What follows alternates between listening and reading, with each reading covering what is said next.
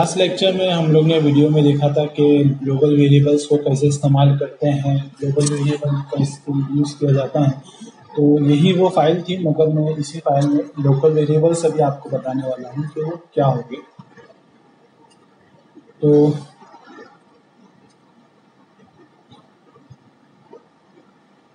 तो screen clear किया मैंने, पुराना आउटपुट जो यहाँ दिख रहा था वो हटा दिया। मैं अभी लोकल वेरिएबल्स बनाते हैं तो लोकल वेरिएबल किसे कहते हैं? कि जो इस ब्लॉक के दरमियान में जो मैं वेरिएबल को डिक्लेयर करूँगा इंटीजर टाइप में तो मैं यहाँ मेन फ़ंक्शन का एक वेरिएबल बनाता हूँ ए उसको वैल्यू दे देता हूँ हंड्रेड कॉमा फिर एक मेन फ़ंक्शन का वेरिएबल बनाता हूँ बी उसको वैल्यू दे देता हूँ टू हंड्रेड और एक वेरिएबल बना देते हैं मेन फ़ंक्शन का सम ठीक है? तो तीन वेरिएबल मैंने बना दिया। तो ये मेरे अभी फ़िलहाल ये वेरिएबल जो है लोकल वेरिएबल है और ये variable local to main function ठीक है? मतलब ये सिर्फ़ मेन फ़ंक्शन के लिए बनाए गए तो आते हैं फ़िलहाल हम लोग उस पर ज़रा वर्कआउट करते हैं। जैसे पिछली बार के सिंपल जो प्रोग्राम देख थे हम तो मेन फ़ंक्शन का जो हमारा सम था उसमें हम मेन फ़ंक्शन के वेरिएबल ए को ऐड कर देते हैं मेन फ़ंक्शन के वेरिएबल बी के साथ। ठीक है? और फिर उसी को हम लोग प्रिंट एफ़ भी कर लेंगे ताकि हमको पता चले कि हम क्या कर रहे हैं। Main function M percent D comma M underscore sum ठीक है? तो इसको अभी मैं कंपाइल करता हूँ एरर तो है नहीं। इसको फ़िलहाल हम इतना सा कोड जो हमने लिखा है ना, उसको रन करते हैं। तो एक एक करके रन करते हैं। मेन फ़ंक्शन में आया वेरिएबल हमारे पास M integer A M B सब दिया हुआ है। लोकल वेरिएबल डिक्लेयर किया स्क्रीन क्लियर हुई अभी एडिशन होगा प्रिंट एफ़ में आउटपुट देखना चाहिए। जो आया output main equal to three hundred दे रहा है। ठीक है? क्लियर हुआ? फाइनल आउटपुट हमारा कंसोल स्क्रीन में आ रहा है। तो हम इसको देख पा रहे हैं कि हमारे पास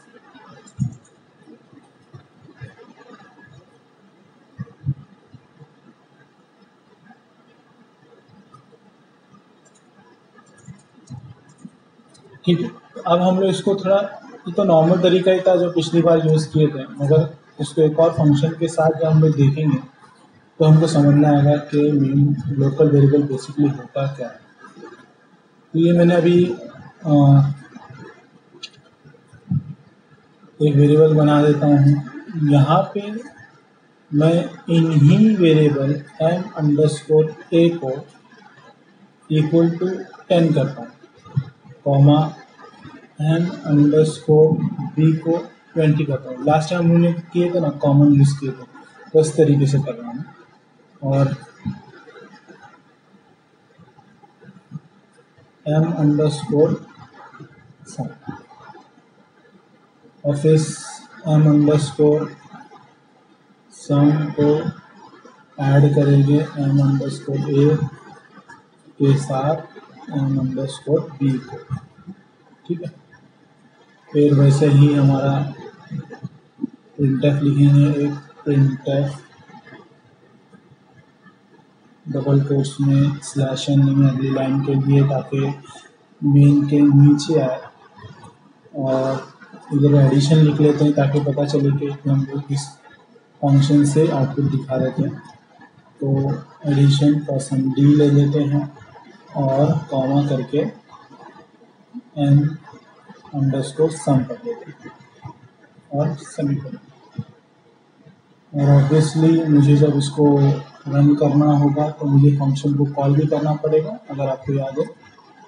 तो एडिशन फ़ंक्शन को कॉल कर लेते हैं।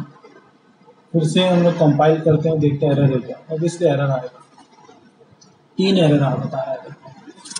तीनों एरर हमारे हाईलाइट हो रहे हैं इसको तो इधर पे क्लिक करता हूँ तो ये बता रहा है कि मेरे पास ये एरर है।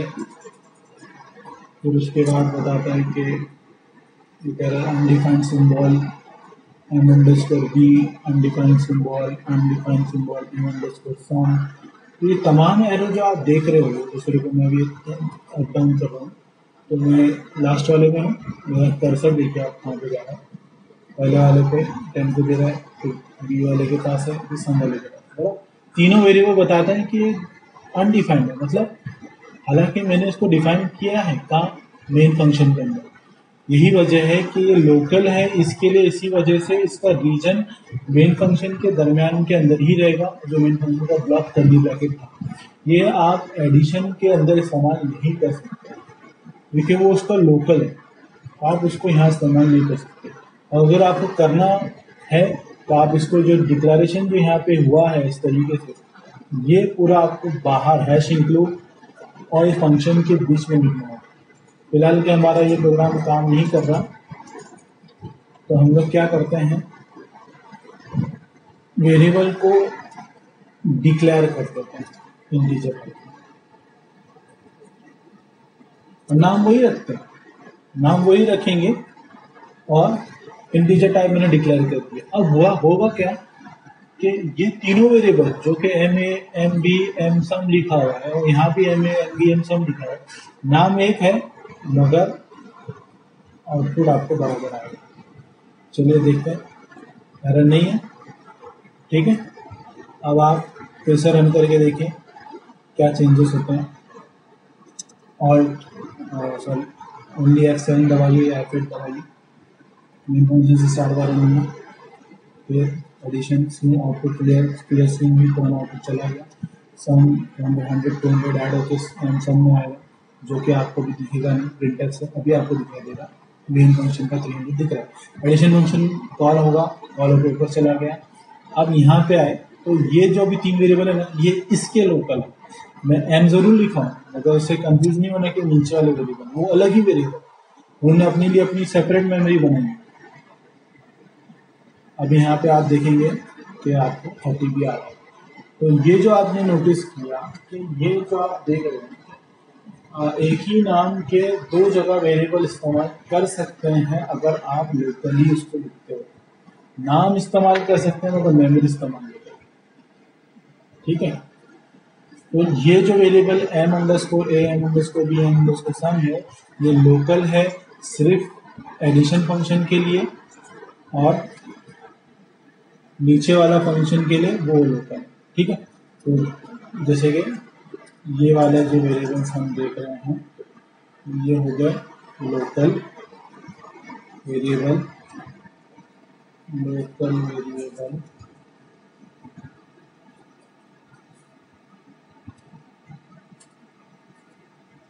of addition function ठीक है? तो इससे क्या होता है कि हम वेरिएबल्स की रीयूजेबिलिटी कर सकते हैं। एक नाम के कई वेरिएबल्स अलग अलग फ़ंक्शंस में इस्तेमाल कर सकते हैं। अगर आपको याद होना चाहिए तो आप ऐसा कर सकते हैं। ग्लोबल वेरिएबल से फ़ायदा ये होता है कि आप एक ही बार वो वेरिएबल को डिक्लेयर करो तो पूरे के प्रोग्राम में आप इसको कई बार इस्तेमाल कर सकते हैं। और एरर नहीं देगा। लोकल वेरिएबल क्या होगा कि वो वेरिएबल उस जगह पे ही इस्तेमाल होगा, कहीं और इस्तेमाल नहीं हो पाएगा। ठीक है? तो फिर से बता देता हूँ कि जैसे कि हम लोग इंट यहाँ से हटा दिए तो आपको एरर आ जाएगा, क्योंकि आपने उसको डिक्लेयर मेन फ़ंक्शन में किया था एडिशन फ़ंक्शन में नहीं किया था। ठीक है? तो इस वजह से ये आपका वेरिएबल लोकल हो गया। अब आप, चलो करके देखते हैं, उसको फ्लोट कर देते हैं। फ्लोट करने से अब तीनों वेरिएबल फ्लोट हो गए रहेंगे, बराबर? तो देखिए मेन फ़ंक्शन का आपको आंसर क्या आया था थ्री हंड्रेड एडिशन फ़ंक्शन का क्या आया था थर्टी क्यों इंटीजर टाइप के दोनों? मैं मेन फ़ंक्शन के वेरिएबल्स को इंटीजर ही रख रहा हूँ। तो यहाँ परसेंट डी है यू कैन सम मेरा इंटीजर टाइप मैं यहाँ पे इसको फ्लोट कर देता हूँ। ठीक है? तो फ्लोट करने से मैंने तीनों वेरिएबल को फ्लोट कर दिया है तो मुझे इसको एफ़ करना पड़ेगा। तो अब एफ़ करने से बोलिए क्या होगा? कंपाइल करते हैं। एरर तो नहीं आएगा, मगर अभी मैं एक एक करके रन करके दिखाता हूँ। मेन फ़ंक्शन फिर से रन हो रहा है, फिर से हो रहा है, फिर से हो रहा है। फिर से हो रहा है अभी आपको क्या दिखाई देगा? मेन का थ्री ठीक है? याद रखना एडिशन फ़ंक्शन कॉल हुआ। एडिशन यहाँ पे लोकल वेरिएबल तुम्हारा बना, ये बना। अब यहाँ पे एडिशन कितना आया था? थर्टी आया था, याद मुझे यहाँ नोटिस क्या क्या thirty point zero zero zero अब समझना है कि दोनों वेरिएबल फ़र्क है। नाम सेम ज़रूर दिख रहे, मगर वो दोनों वेरिएबल की मेमोरी डिफरेंट है।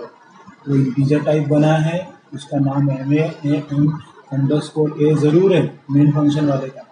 और फ्लोट वाले का M A underscore A ज़रूर है, नाम सेम ही है, मगर मेमोरी इज़ डिफरेंट इसी वजह से आपका ऊपर का वेरिएबल लोकल है एडिशन फ़ंक्शन के लिए, और नीचे के वेरिएबल सारे लोकल है मेन फ़ंक्शन के लिए। तो ये था आपका लोकल और ग्लोबल का कंसेप्ट